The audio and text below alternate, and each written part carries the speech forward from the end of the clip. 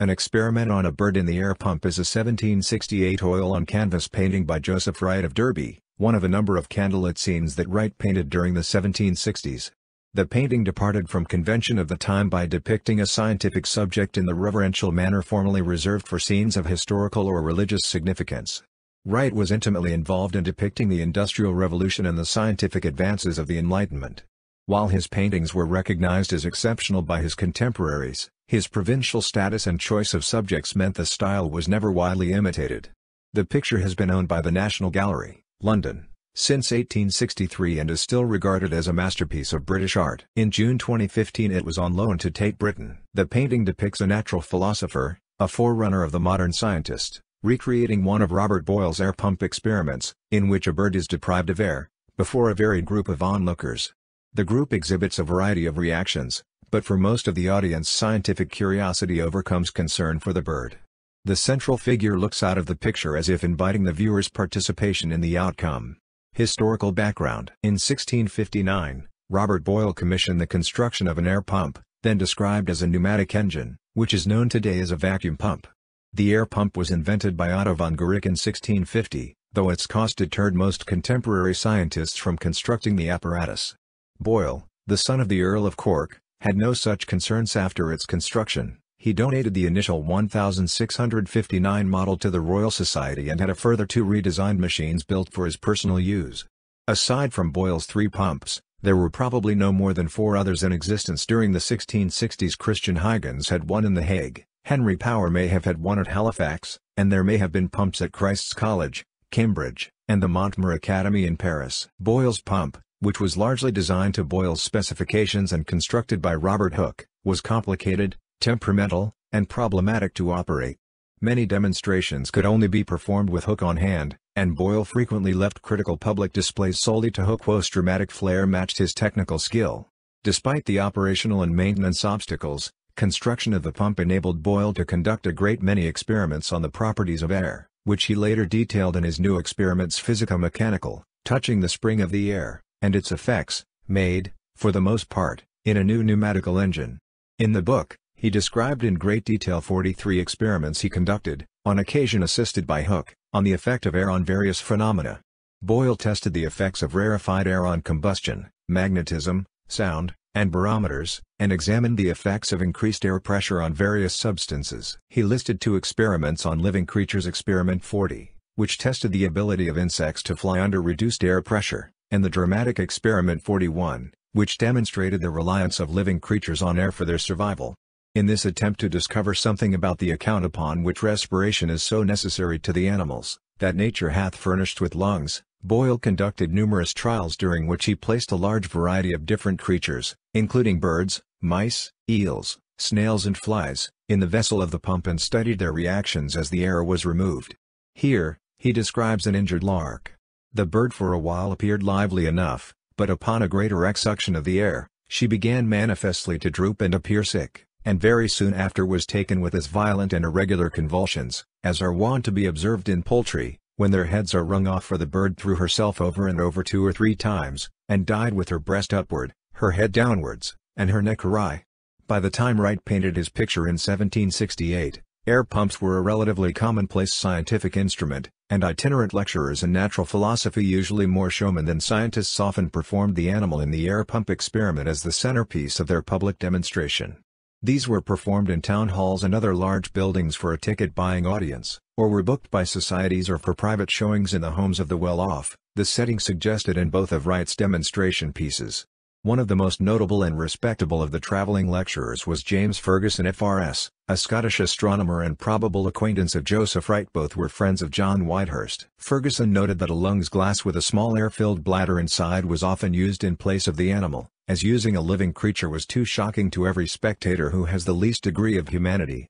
The full moon in the picture is significant as meetings of the Lunar Circle renamed the Lunar Society by 1775 were timed to make use of its light when traveling. Erasmus Darwin's study in his original house survives at Beacon Street, Lichfield WS 137 AD, and is recognizable as the site of the painting. The eight-pane window is unchanged, the door position remains as depicted in the painting, though the architrave is missing. A full moon can be seen from this room at the same bearing and inclination as in the painting, just after midnight when the moon is full. Darwin's philosophical feasts that started with the afternoon meal often carried on throughout the night. Wright met Darwin in the early 1760s, probably through their common connection of John Whitehurst, first consulting Darwin about ill health in 1767 when he stayed in the Darwin household for a week. The energy and vivacity of both Erasmus and Mary Polly Darwin impressed Wright. In the 1980s Eric Evans National Gallery suggested that Darwin is the figure in the left foreground who holds a watch. As this composed timekeeper is not consistent with Darwin's flamboyant character, it is more likely that this is Dr. William Small. The attention to timekeeping fits with Dr. Small's role as the social secretary for the Lunar Circle.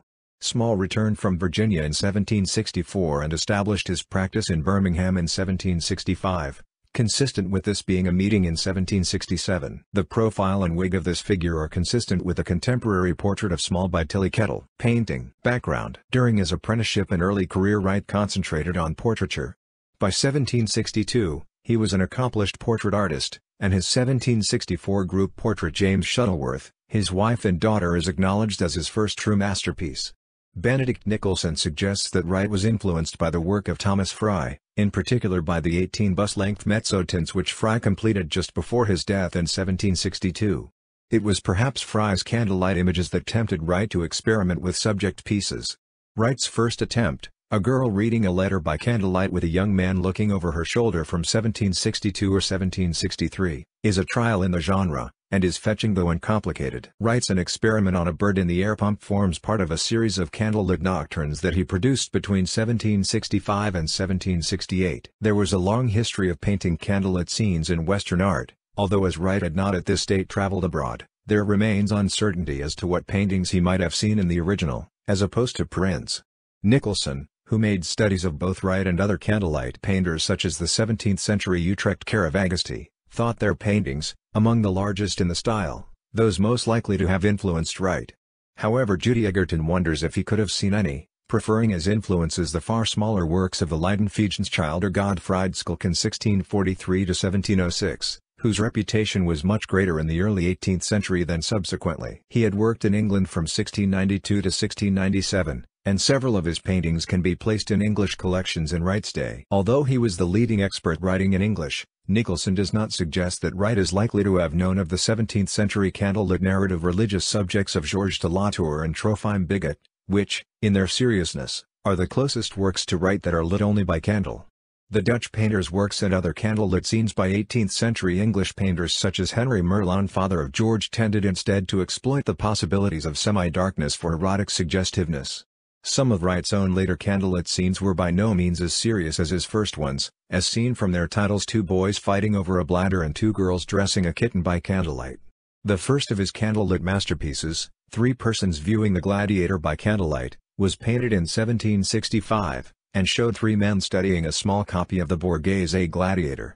Viewing the Gladiator was greatly admired, but his next painting, A Philosopher Giving That Lecture on the Orrery, in which a lamp is put in place of the sun normally known by the shortened form a philosopher giving a lecture on the orrery or just the orrery, caused a greater stir, as it replaced the classical subject at the center of the scene with one of a scientific nature. Wright's depiction of the awe produced by scientific miracles marked a break with traditions in which the artistic depiction of such wonder was reserved for religious events, since to Wright the marvels of the technological age were as awe-inspiring as the subjects of the great religious paintings. In both of these works the candlelit setting had a realist justification. Viewing sculpture by candlelight, when the contours showed well and there might even be an impression of movement from the flickering light, was a fashionable practice described by Goethe. In the Orrery demonstration the shadows cast by the lamp representing the sun were an essential part of the display, used to demonstrate eclipses. But there seems no reason other than heightened drama to stage the air pump experiment in a room lit by a single candle and in two later paintings of the subject by Charles Amédée Philippe Van Loo the lighting is normal. The painting was one of a number of British works challenging the set categories of the rigid, French-dictated hierarchy of genres in the late 18th century, as other types of painting aspired to be treated as seriously as the costumed history painting of a classical or mythological subject. In some respects the orrery and air pump subjects resembled conversation pieces, then largely a form of middle-class portraiture, though soon to be given new status when Johann Zoffany began to paint the royal family in about 1766. Given their solemn atmosphere however, and as it seems none of the figures are intended to be understood as portraits even if models may be identified, The paintings cannot be regarded as conversation pieces. The 20th-century art historian Ellis Waterhouse compares these two works to the genre sérieux of contemporary French drama, as defined by Denis Diderot and Pierre Beaumarchais, a view endorsed by Egerton. An anonymous review from the time called Wright a very great and uncommon genius in a peculiar way. The Orrery was painted without a commission, probably in the expectation that it would be bought by Washington Shirley, 5th Earl Ferrers, an amateur astronomer who had an orrery of his own, and with whom Wright's friend Peter Perez Burdett was staying while in Derbyshire.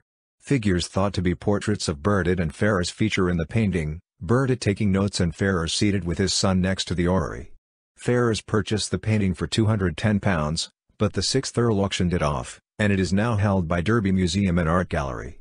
Detail An experiment on a bird in the air pump followed in 1768, the emotionally charged experiment contrasting with the orderly scene from the orrery. The painting, which measures 72 by 94 and a half inches 183 by 244 centimeters, shows a white cockatoo fluttering in panic as the air is slowly withdrawn from the vessel by the pump.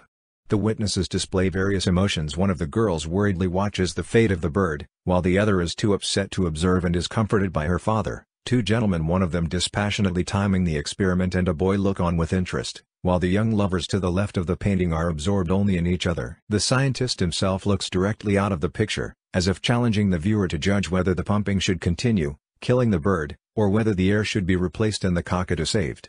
Aside from that of the children, little sympathy is directed toward the bird. David Solkin suggests the subjects of the painting show the dispassionate detachment of the evolving scientific society. Individuals are concerned for each other the father for his children, the young man for the girl, but the distress of the cockatoo elicits only careful study. To one side of the boy at the rear, the cockatoo's empty cage can be seen on the wall, and to further heighten the drama it is unclear whether the boy is lowering the cage on the pulley to allow the bird to be replaced after the experiment or hoisting the cage back up, certain of its former occupant's death. It has also been suggested that he may be drawing the curtains to block out the light from the full moon. Jenny Uglow believes that the boy echoes the figure in the last print of William Hogarth's The Four Stages of Cruelty by pointing out the arrogance and potential cruelty of experimentation, while David Fraser also sees the compositional similarities with the audience grouped round a central demonstration.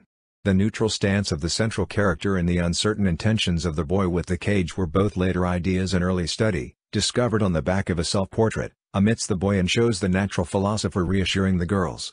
In this sketch it is obvious that the bird will survive, and thus the composition lacks the power of the final version. Wright, who took many of his subjects from English poetry, probably knew the following passage from The Wanderer 1729 by Richard Savage. So in some engine, that denies event, if unrespiring is some creature pent, it sickens, droops, and pants, and gasps for breath, sad o'er the sight swim shadowy mists of death, if then kind air pours powerful in again, new heats, New pulses quicken every vein. From the cleared, lifted, life rekindled eye, dispersed, the dark and dampy vapors fly. The cockatoo would have been a rare bird at the time, and one whose life would never in reality have been risked in an experiment such as this.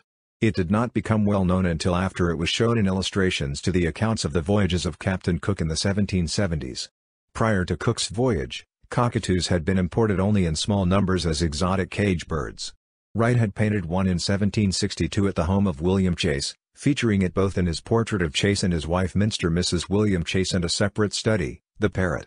In selecting such a rarity for this scientific sacrifice, Wright not only chose a more dramatic subject than the lung's glass, but was perhaps making a statement about the values of society in the Age of Enlightenment. The white plumage of the cockatoo also shows much more effectively in the darkened room than the small dull-colored bird in Wright's early oil sketch. A resemblance has been pointed out between the group of the bird and the two nearest figures and a type of depiction of the Trinity found in early Netherlandish painting, where the Holy Spirit is represented by a dove, to which God the Father the philosopher points, while Christ the Father gestures in blessing to the viewer. On the table are various other pieces of equipment that the natural philosopher would have used during his demonstration a thermometer, candle snuffer and cork, and close to the man seated to the right is a pair of Magdeburg hemispheres which would have been used with the air pump to demonstrate the difference in pressure exerted by the air and a vacuum when the air was pumped out from between the two hemispheres they were impossible to pull apart.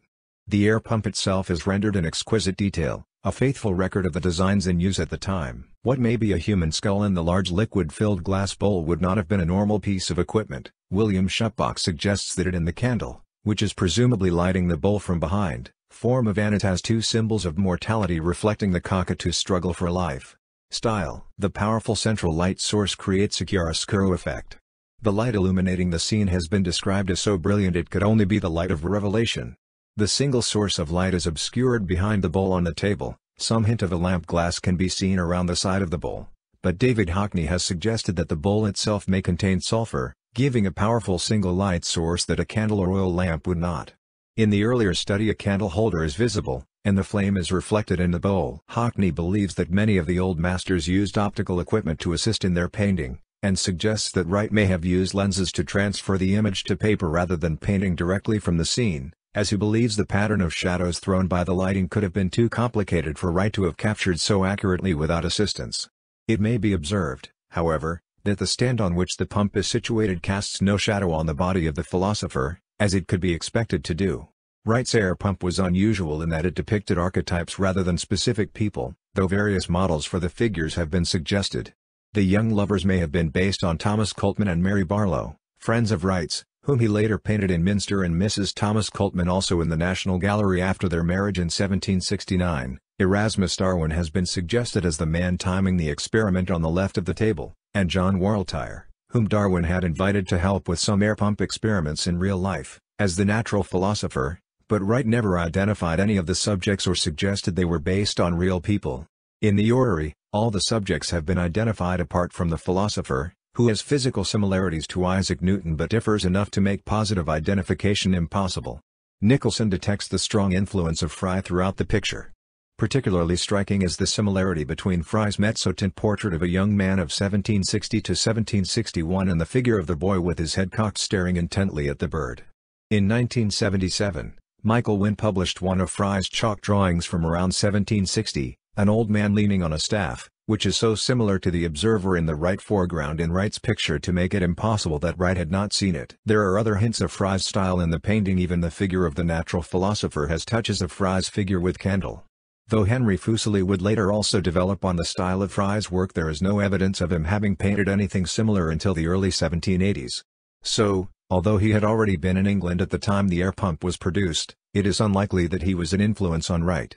Wright's scientific paintings adopted elements from the tradition of history painting but lacked the heroic central action typical of that genre. While groundbreaking, they are regarded as peculiar to Wright, whose unique style has been explained in many ways.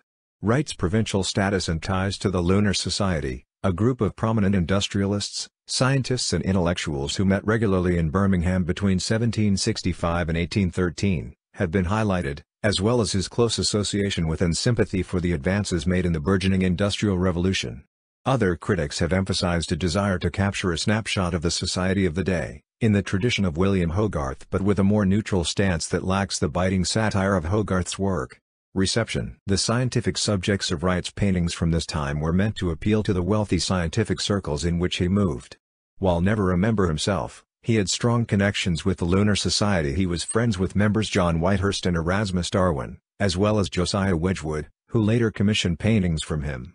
The inclusion of the moon in the painting was a nod to their monthly meetings, which were held when the moon was full. Like the orrery, Wright apparently painted air pump without a commission, and the picture was purchased by Dr. Benjamin Bates, who already owned Wright's Gladiator.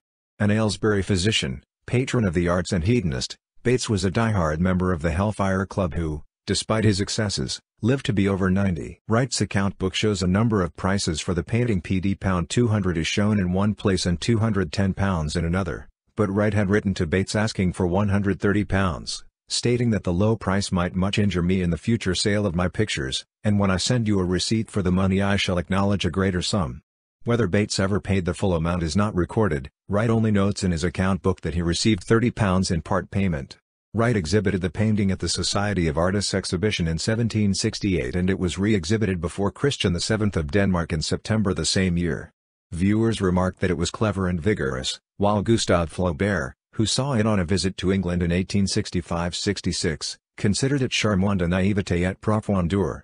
It was popular enough that a mezzotint was engraved from it by Valentine Green which was published by John Boyd Boydell on June 24, 1769, and initially sold for 15 shillings. This was reprinted throughout the 18th and 19th centuries, in increasingly weak impressions. Ellis Waterhouse called it one of the wholly original masterpieces of British art. From Bates, the picture passed to Walter Tyrrell, another member of the Tyrrell family. Edward, presented it to the National Gallery, London, in 1863, after it had failed to sell at an auction at Christie's in 1854. The painting was transferred to the Tate Gallery in 1929, although it was actually on loan to Derby Museum and Art Gallery between 1912 and 1947. It has been lent out for exhibitions to the National Gallery of Art in Washington, D.C. in 1976, the National Museum of Fine Arts in Stockholm in 1979-1980, and Paris Grand Palais, New York Metropolitan and the Tate in London in 1990. It was reclaimed by the National Gallery from the Tate in 1986. They describe its condition as good, with minor alterations visible on some figures. It was last cleaned in 1974. The striking scene has been used as the cover illustration for many books on topics both artistic and scientific. It has even spawned pastiches and parodies the book cover of The Science of Discworld, by Terry Pratchett, Ian Stewart, and Jack Cohen, is a tribute to the painting by artist Paul Kidby, who replaces Wright's figures with the book's protagonists. Shelagh Stephenson's play An Experiment with an Air Pump, inspired by the painting, was the joint winner of the 1997 Margaret Ramsay Award and had its premiere at the Royal Exchange Theatre, Manchester, in 1998.